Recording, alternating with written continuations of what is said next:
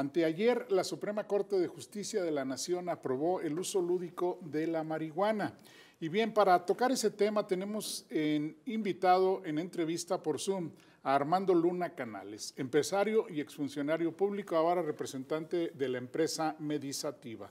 Armando, buenos días. Te saludamos Jesús Jiménez y Edith Mendoza. ¿Cómo amaneces? Muy buenos días. Es un gusto saludarlos.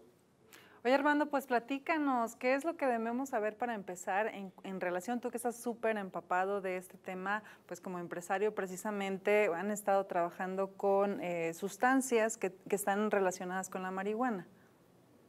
Bueno, primero que nada creo que es importante distinguir que lo que resolvió la Corte fue exclusivamente lo que tiene que ver con el uso recreativo. Eh, la empresa en la que yo participo tiene el objetivo de, tratar el uso médico del cannabis. Sin embargo, creo que es un buen avance.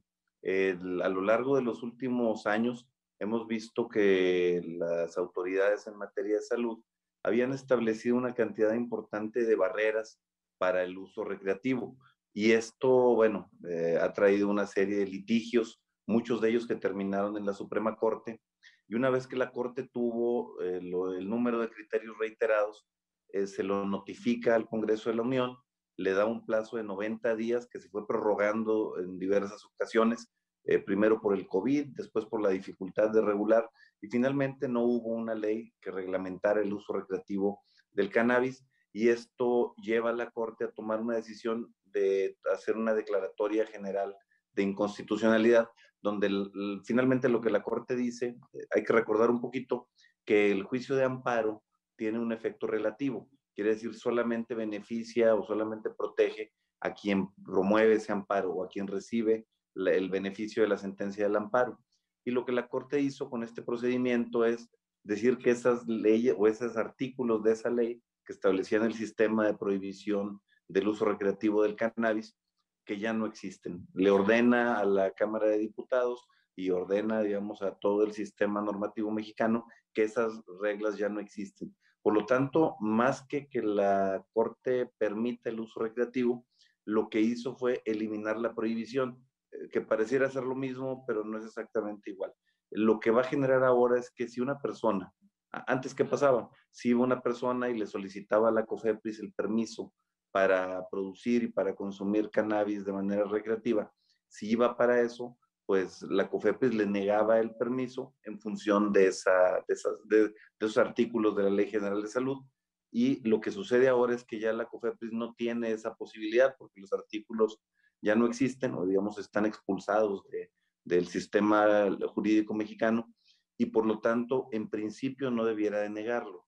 Quiero comentar rápidamente que en los últimos años Hemos promovido diversos amparos para personas que quieren hacer el uso recreativo del cannabis y nos hemos topado no solo con que la COFEPRIS, eh, digamos, niegue el permiso por esta prohibición que existía en la ley, sino también lo hacen alegando interés jurídico o alegando otro tipo de, de disposiciones y sin contar que han tardado para esas negativas hasta dos años para contestar. Así es que eh, creo que hay que ver con, digamos, con cuidado esta, esta disposición que elimina la Corte, que es cierto que le quita a la COFEPRIS la posibilidad de prohibir por ese motivo. Y lo que creo que tenemos que estar muy cuidadosos es bueno, ver cómo aplica la autoridad esa restricción a futuro. Yo lo que creo es que son pasos que se siguen dando. Aquí pareciera a veces en México que queremos correr, en el resto del mundo, la apertura al uso del cannabis, tanto medicinal como recreativo, ha tardado décadas. En Estados Unidos, en Europa, han sido procesos lentos donde se va perfeccionando el sistema legal y lo que vemos aquí es que pudiéramos estar ante algo igual. Entonces, creo que son pasos que se van dando, son avances que se van dando. Le dicen al Congreso de la Unión que no puede prohibir ciertas cosas y esto, bueno, finalmente va dejando un marco cada vez más claro, que hay que alegar y hay que decir que está muy poco claro todavía. Armando, y en lo que respecta al tema medicinal, al avance para la elaboración, para la comercialización, para la aplicación de los temas medicinales, ¿cómo van ahí en ese, en ese proceso? ¿Qué tanto se ha avanzado y qué, están, eh, qué autorizaciones están esperando en este momento? Bueno, esta, esta resolución de la Corte, esta declaratoria de inconstitucionalidad, no afecta en nada al uso médico ya que hay que recordar que tanto el uso médico como la investigación ya estaban permitidos eh, por reforma a la ley de salud. Y hay diversas empresas que entiendo, hoy veía una nota en prensa temprano, que hay 150 y tantas empresas que están solicitando ante el INPI registros de marca y registros de, nombres para, diversos productos. Yo creo que eso es también parte del desarrollo que tiene que haber y lo importante es que eh, seguimos, digamos, con un avance relativo en cuanto a la comercialización, sin embargo, con muchos problemas en cuanto a la producción. Es muy difícil o, digamos, prácticamente imposible tener ahorita una autorización de producir aquí en México. Y por otro lado, creo que es un desperdicio, un desperdicio enorme de espacio, de vocación de la tierra en muchos lugares y sobre todo de posibilidad de empleo a miles y miles de personas. Pero lo más relevante de esto, diría yo, es que en el debate que tuvo la Corte el día de antier, hay una, hay una, digamos, algo que sale a la luz de manera importante. Señalan los ministros, sobre todo, por ejemplo, la dificultad de conseguir semillas.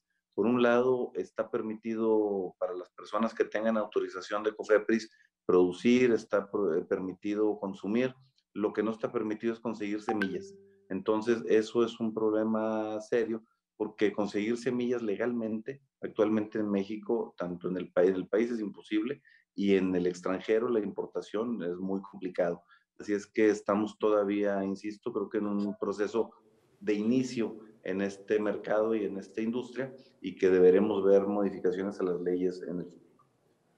Pues significa, Armando, que todavía estamos bastante lejos de tiendas, no sé, que hemos visto en algunos países eh, del extranjero, en el mismo Estados Unidos, que, bueno, que precisamente ya ofrecen la comercialización de los productos, no solo para uso medicinal, sino para uso lúdico. ¿Qué tan lejos en tiempo estamos para, eh, pues digamos, enfrentarnos a un momento para que en México podamos tener este tipo de tiendas?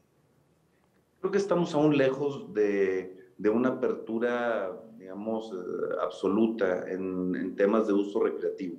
Yo creo que, y además es lo que hemos visto en la realidad, eh, que ha habido un avance en la regulación y en los permisos para el uso medicinal. Y, y, creo que además es lo que debe ser. El sistema de salud en México tiene ya mecanismos establecidos, tiene ya regulaciones y servidores públicos especializados en el control de medicamentos, eh, insisto, medicamentos controlados, que sería el caso del cannabis en todas sus, en todas sus versiones. Creo que el seguir avanzando en ese sentido ayuda a que los pasos sean más eh, modestos, pero ayuda también a que sean mucho más firmes. El abrir primero, como se estaba planteando, el uso recreativo al abierto, al público en general, al uso médico, creo que presenta retos y riesgos importantes. ¿Y qué, cuál es la aceptación, el nivel de aceptación que han tenido a la fecha? No sé ya cuánto tiempo llevan ustedes operando. Eh, ¿Cuál es el nivel de aceptación que ha tenido sus productos entre la población aquí en Saltillo? Pues la verdad es que eh, yo diría que tiene una aceptación buena. Eh, digo, trabajamos en Saltillo y en otras ciudades a través de, otros negocios que distribuyen también productos que fabricamos nosotros. Pero también hay que decirlo, que con, con bastante cautela de cómo vamos avanzando. Son negocios nuevos y son negocios también muy regulados, que tienen que hacerse cada una de las medicinas o de los productos que se vende debe ir acompañado de una receta médica, tienen que ser establecimientos debidamente autorizados por la autoridad sanitaria. Y la otra parte es que hay una cantidad enorme de productos eh, que la gente ha ido probando con el tiempo que no tienen ningún tipo de control sanitario. Y ante eso nos, eh, nos enfrentamos quienes producimos o quienes estamos ofreciendo productos que están perfectamente dentro de la ley. Pues durante mucho tiempo se, se hicieron productos milagro, productos, diría yo, sin ningún tipo de control sanitario. Y eso a muchas personas los hace que sean un poco pues digamos, escépticos de, los beneficios. Hay también eh, una cantidad, hay que decirlo, no, no, son milagros, son medicamentos y debe venir acompañado siempre con la recomendación y en el uso que lo recomiende un médico. Armando, ¿qué enfermedades, qué enfermedades crónicas se pueden atender con este tipo de medicamentos elaborados con ustedes? Mira, les puedo comentar que lo que la gente más busca, o al menos lo que hemos podido ver nosotros, tiene que ver con padecimientos relacionados con el sueño o con el estrés. Hay muchas personas que eh, pues, por la vida diaria, la problemática o lo que puedan tener ellos en su contexto, pues les afecta el sueño. Hemos visto que hay personas que al consumir CBD pues tienen eh, beneficios al momento de conciliar el sueño y eso les mejora sin duda la calidad de vida en todos los aspectos. Y otro de los temas principales que yo he visto eh, tiene que ver con los dolores musculares. Hay algunos ciertos padecimientos, incluso de temas deportivos, pero donde, bueno, se alivia con productos con cannabis. Hay muchísimas investigaciones y muchísimas personas que hablan de otro tipo de, mejoras, el caso de algún tipo de convulsiones y algún tipo de padecimientos. Yo en lo personal no he visto que se, que se receten para ese tipo de padecimientos. Armando, te agradecemos muchísimo que nos hayas eh, tomado la llamada. Ha, sido muy descriptiva tu explicación de los temas y bueno, pues esperemos seguir avanzando porque el país lo requiere y con más, más que nada en este contexto que tenemos en este momento con, con la pandemia y que muchos otros asuntos y temas que tienen que ver con las demás enfermedades se han detenido. Ojalá se sigan eh, logrando avances puntuales lo más pronto posible. Gracias, Armando. Un gusto saludarlos. Buen día. Hasta luego. Hasta pronto.